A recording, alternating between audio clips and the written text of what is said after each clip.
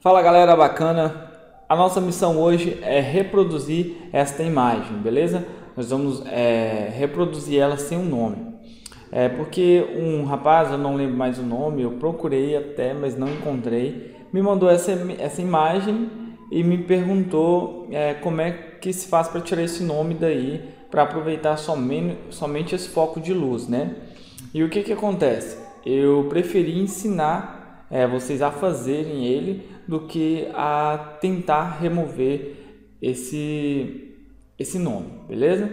Com, com Photoshop você faria isso, mas é, como as aulas são voltadas para o Corel, então eu vou ensinar você a reproduzir esta imagem aí. Então vamos lá para a aula?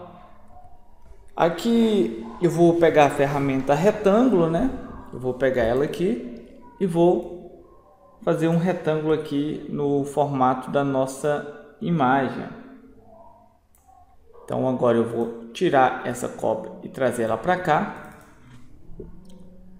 E eu vou pegar aqui a ferramenta conta gotas e primeiro pegar essa parte mais escura aqui, ó. Peguei a parte mais escura, eu arrasto aqui para dentro. E agora eu vou pegar a ferramenta conta gotas novamente e vou pegar essa parte mais clara aqui. Feito isso, eu arrasto ela aqui para a imagem, ela vem para cá. Agora eu vou pegar e fazer o seguinte, vou apertar a tecla G de gato, vou vir aqui em cima e vou mudar para preenchimento de fonte elíptica. Feito isso, eu pego essa cor e arrasto aqui para dentro. Então, nós já temos aí é, a nossa o nosso fundo, né? Então vamos lá agora para a parte do, da luz. Então vou dar um zoom aqui Primeiro eu vou reproduzir essa parte de cima, eu vou pegar a ferramenta elipse, fica aqui, ó, ou você aperta aí F7 do seu teclado e vai fazer uma elipse partindo daqui, ó. Mais ou menos isso, você chega ela aqui em cima, confere aqui, né? E dá só uma puxadinha aqui, ó. Beleza. Feito isso, vou fazer uma cópia Ctrl C, Ctrl V, vou puxar o canto para cá e este outro canto para cá. Agora só puxo a parte de cima e belezinha.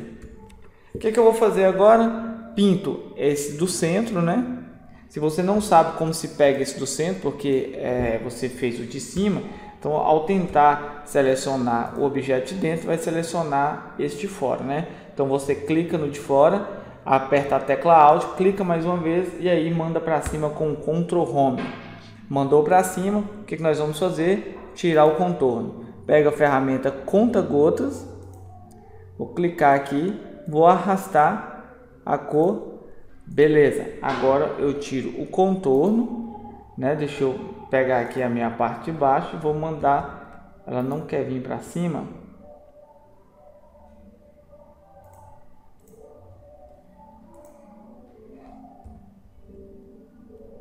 Ela não quer vir para cima, ó. então Deixa eu tirar ela daqui. Eu não entendi o porquê que ela não quis vir para cima com o atalho aqui, ó.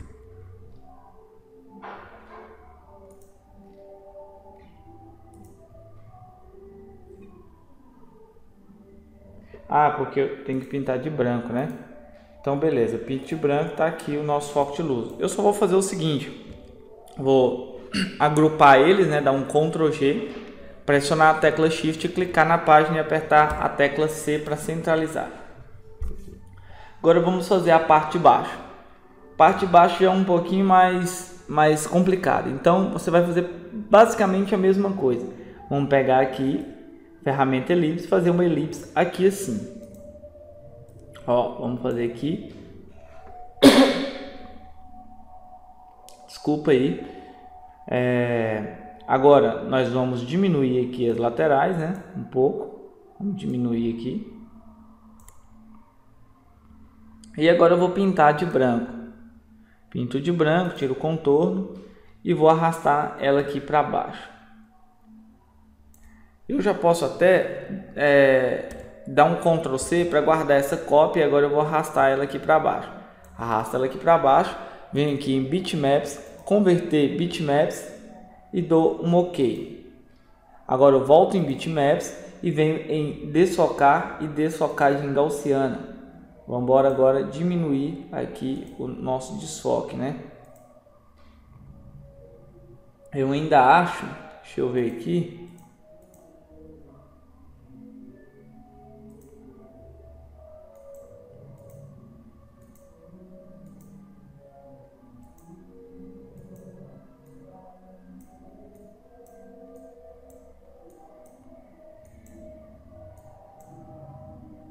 dou um OK. Eu vou puxar aqui agora essas pontas aqui, ó, desse, desse jeito. Ó. Vou puxar ela aqui e vou dar uma diminuída aqui.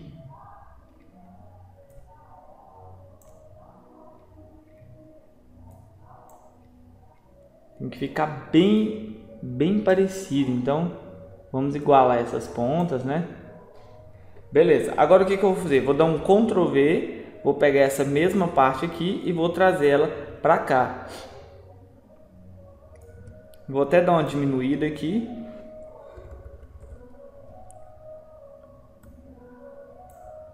E agora eu vou converter ela em bitmaps e vou agora desfocar isso daí. Agora eu vou diminuir o desfoque para igualar mais ou menos ali a nossa imagem, né? 19, acho que 19, 17 tá bom. Então, aqui em 17, vou dar uma esticadinha aqui e uma diminuída bem pouca, segurando o Shift para fazer um pouco parecido, né? Agora eu vou pegar mais ou menos a mesma espessura, selecionei os dois juntos e vou aumentar aqui a espessura pressionando a tecla Shift e agora temos aí já o nosso desfoque. Vou dar um Ctrl G, clico aqui na página azul, pressionando a tecla Shift e aperto a tecla C para ele ir até o centro da página. Então agora o que, que nós vamos fazer aqui? Vamos fazer é, o foco da luz, né? Nós já fizemos aqui a lâmpada, a claridade no, no piso, como se estivesse realmente no piso. O que eu não entendi é porque eu vou voltar ela aqui para o centro aqui e vou colocar ela na mesma posição porque eu esqueci que eu vou colocar na mesma posição e agora eu jogo ela para cá. Beleza. Vamos fazer o seguinte agora é essa luz aqui. Essa luz aqui nós vamos pegar a ferramenta retângulo Vamos clicar aqui, né? Arrastar aqui. E mais ou menos isso aqui. Só que dessa vez nós vamos fazer um pouquinho diferente. Não, vamos fazer aqui igual mesmo. Vou pegar aqui o branco.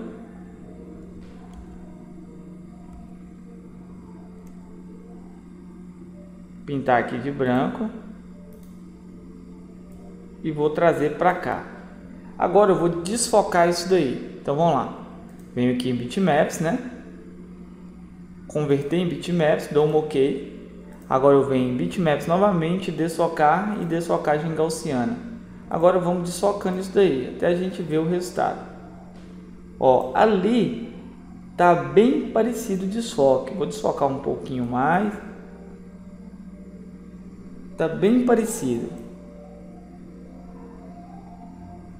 Dou um OK, pego a ferramenta transparência e dou uma transparência aqui. Calma aí que vocês vão me entender muito bem, beleza? Então, chegamos até aqui já. O que, que eu vou fazer aqui agora?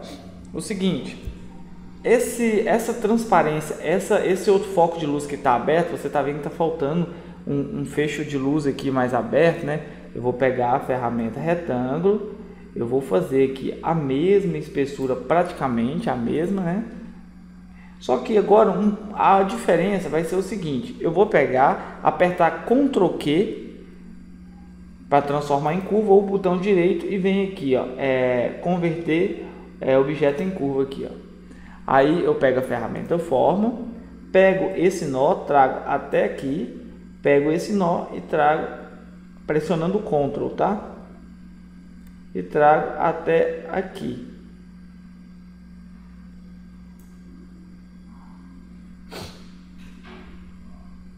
Beleza, inclusive eu vou até descer ele mais aqui, depois eu controlo isso tudo na transparência. Então eu vou descer ele um pouco mais, beleza.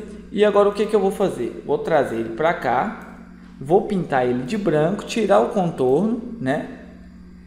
E vou agora vir aqui em bitmaps, converter em bitmaps, ó, vamos converter isso em bitmaps e vou novamente em desfocar, desfocagem gaussiana. A intenção é desfocar os cantos aqui, ó, dessa mesma maneira. Ó. Nós não vamos desfocar muito.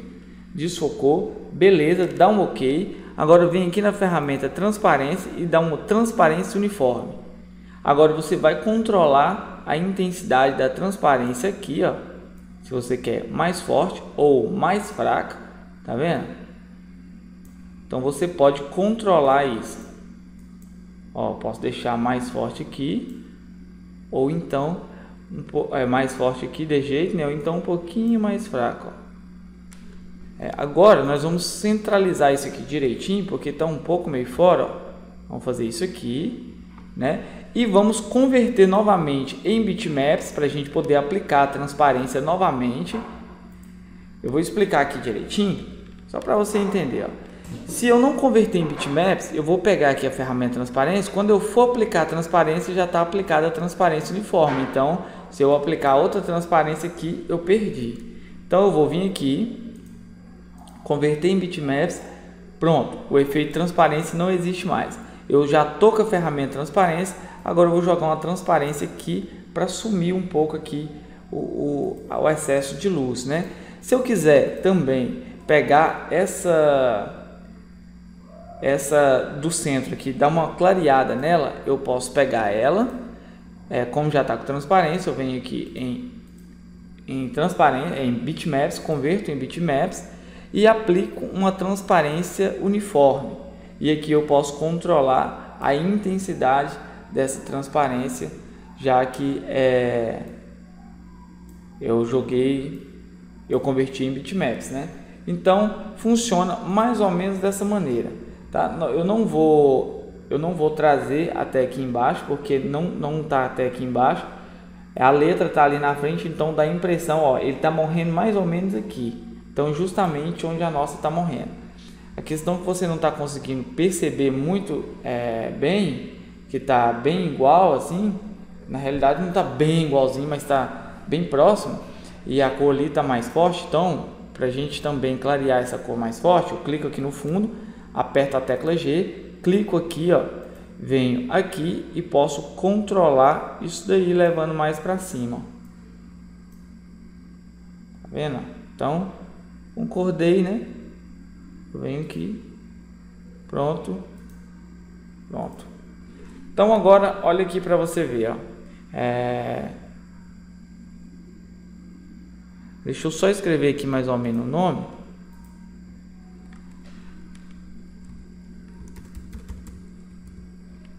Deixa eu ver se eu consigo uma fonte parecida aqui. Acho que essa Bebas aqui vai dar certo. Eu vou pintar ela de branco, né? E vou colocar ela aqui. Deixa eu ver aqui. Aqui mais ou menos e vou puxar para dentro assim, ó.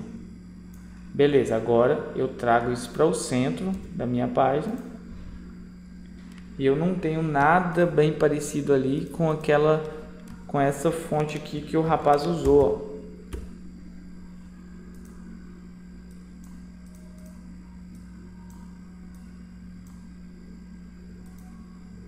Então vamos ver aqui se a gente encontra alguma coisa mais próxima. Acho que pode ser essa daqui mesmo, embora não esteja muito próxima. Vou dar uma inclinadinha nela aqui, bem pouca. E daí já dá mais ou menos para você perceber que engana bastante. É, como eu disse, aqui no fundo ainda está um pouco é, mais clara a nossa imagem, né? mais claro que a nossa imagem, mas é basicamente isso, não tem muito segredo. Deixa eu abrir aqui a imagem para a gente dar uma conferida, né? Os detalhes. Então eu poderia ter puxado o foco de luz aqui é, com menos transparência, né? Deixa eu ver aqui. Aqui, ó. esse aqui eu poderia ter deixado mais para baixo assim, ó. Trago aqui mais para baixo. Poderia também ter fechado ele um pouco mais, pressionando a tecla Shift aqui. Mas isso aí são ajustes e depois você vai fazendo os ajustes e vai melhorando. Você pode também pegar o do meio mesmo que já tem o efeito aplicado e descer ele mais para baixo, tá vendo? Ó, você pode descer ele mais para baixo, você pode subir ele mais até ficar mais parecido. Agora a questão aqui é ajuste. A gente vai mexendo, vai ajustando e aí acaba conseguindo o efeito desejado, né? Mas eu espero que você tenha aprendido um pouco de foco, de foco, de foco, né? Do foco da luz aí que você tenha aprendido, também o desfoque. É, talvez aqui não precisaria ter tido esse desfoque todo aqui no, no centro, né? Deixa eu, eu digo dessa nossa primeira imagem aqui, ele poderia ter sido menor. Então dá para mexer muito aí, melhorar muito mesmo a, a arte, né? Você pode também fazer uma dobra, uma dobra desse efeito e jogar uma transparência só daqui para cá. Para essa transparência ficar mais forte aqui em cima. Já que ali está bem forte. Então é isso. Eu agradeço que você tenha assistido a aula e até a próxima videoaula. Valeu, galera. Se inscreva no canal aí para ajudar e compartilhe esse vídeo com seus amigos, beleza? Fui e um forte abraço. Até mais.